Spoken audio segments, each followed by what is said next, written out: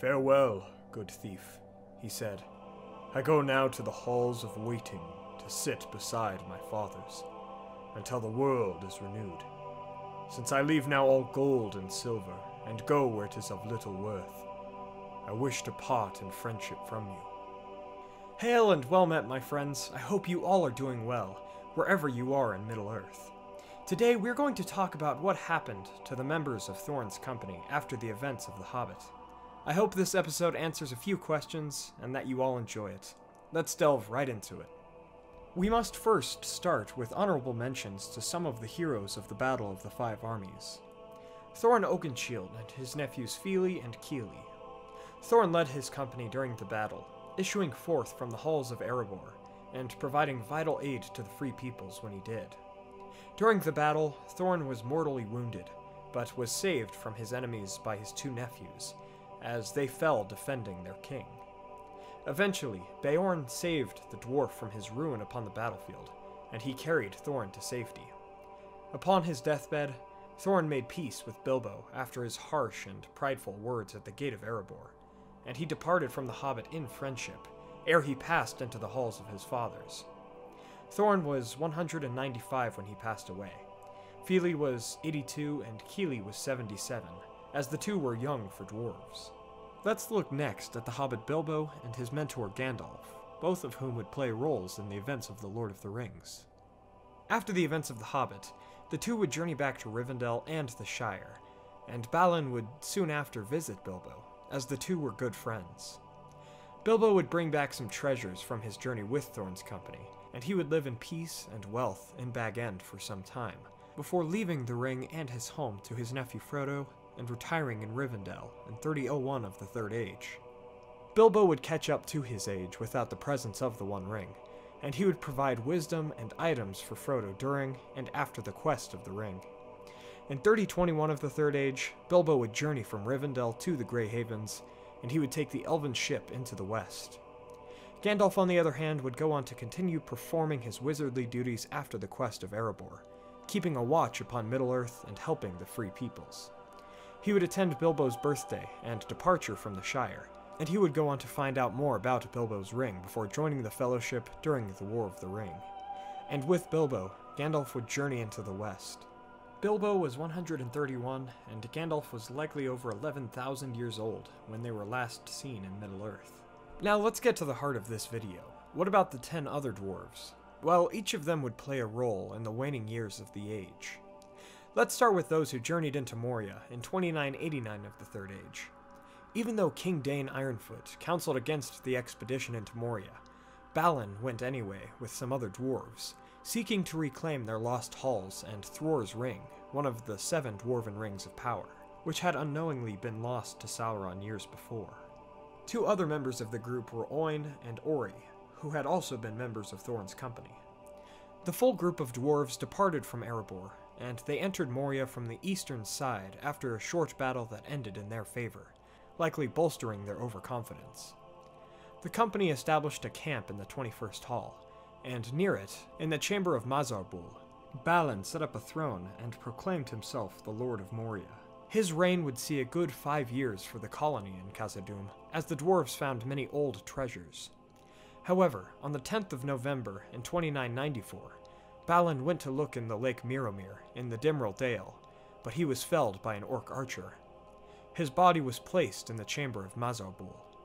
It was the first true sign of what was to come, and his tomb was a reminder of the broken hopes of that company. After Balin's fall, more orcs moved into Moria from the eastern side, blocking the east path where the dwarfs had entered Moria. So Oin led a group to scout the western gate, but the waters outside of them were up to the door, and the Watcher in the Water slew Oin, and only four dwarves were able to escape and return to the others in Moria. As the dwarves were trapped in Moria, they were picked off, and they made their final stand in the chamber of Mazarbul. Ori was among them, and he wrote the final account in the book of Mazarbul, before being slain alongside his kin by the wretched orcs. The final account in the book was, quote, We cannot get out. The end comes. Drums, drums in the deep. They are coming. End quote. Thus, Balin, Oin, and Ori alongside other dwarves, were all brought to sorrowful ends due to this expedition. Balin was 231, Oin was 220, and Ori was somewhere between 186 and 231 when the three of them passed away. Now let's look at some happier epilogues for some other dwarves. These seven dwarves, Gloin, Dwalin, Dori, Nori, Bifur, Bofur, and Bombur, all continued to live at Erebor after the events of The Hobbit, and they were all still alive during the War of the Ring. Gloin would go with Gimli as a representative of Erebor to Rivendell for the Council of Elrond, hoping to learn something more of the fate of Balin's expedition into Moria. Gloin would tell Frodo much about Erebor, its inhabitants, and nearby lands during a feast in Rivendell. And during the council, he would relay information about the danger that his people were in. And Gloin would also mention the dark messenger from Mordor that came to Erebor, asking after Bilbo. Gloin's son Gimli would afterwards join the Fellowship of the Ring, and Gloin would likely fight in the Battle of Dale during the War of the Ring. He would live on until the year 15 of the Fourth Age in Erebor, passing at the age of 253. Dwalin would be another dwarf to live out the rest of his years in Erebor, serving King Dain Ironfoot. He would also likely fight in the Battle of Dale, and he would be respected for the rest of his days for his many courageous actions. He would likely serve Erebor in a renowned position. Dwalin, in fact, would outlive the other members of Thorin's company, as he would live to be 340 years old, and he would pass away in 91 of the Fourth Age, which is exceedingly long, even for dwarves whose lifespans average at 250 years. That's pretty insane. Good job, Dwalin. As for the rest of the dwarves, Dori, Nori, Bifur, Bofur, and Bombur, they would all live on in Erebor after the events of The Hobbit, likely serving King Dain and his son, King Thorin Stonehelm, in positions of merit. We don't know these characters' birthdays or death dates, but I'd imagine that they would all participate in the Battle of Dale, except for Bombur, who, according to Gloin, was in fact so large that he required six young dwarves to help him move from place to place. So, he probably just gave moral support from inside Erebor during the Battle of Dale. But I would imagine that all of them lived on into the Fourth Age. We can only guess at their ages, though, as these dwarves were neither the oldest nor the youngest in Thorin's company, making them anywhere between 132 to 178 during the events of The Hobbit. Ori fits in this category as well, which is why his exact age at his passing in Moria is unknown.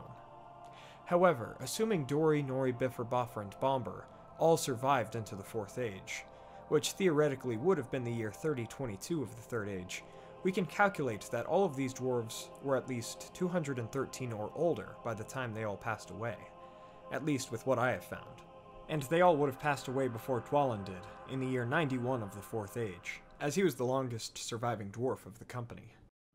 Thus, these are the epilogues of Thorin's company, the heroes who reclaimed Erebor.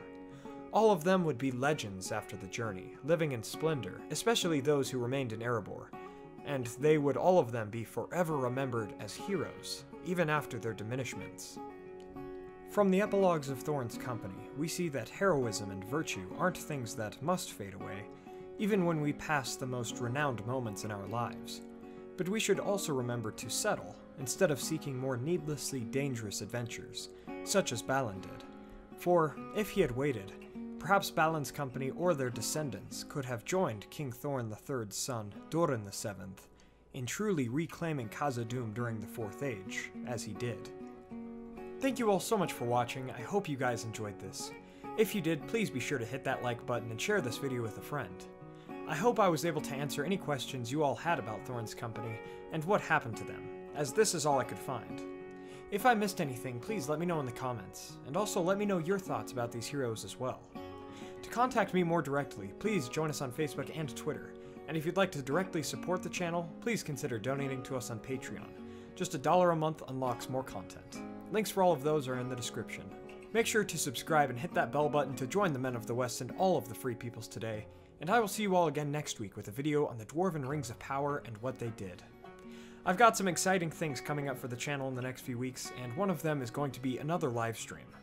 It will take place on August 15th at 11 a.m. Eastern Standard Time, so hopefully some of you who weren't able to make the last live stream can join us this time. I will also be doing a giveaway of a commemorative Men of the West coin during that live stream that was made by a fellow YouTuber and a friend of the channel. I'll link his channel and the video of him casting the coin in the description. As always, guys, thank you all so much for joining me on this adventure. Until the next one, my friends,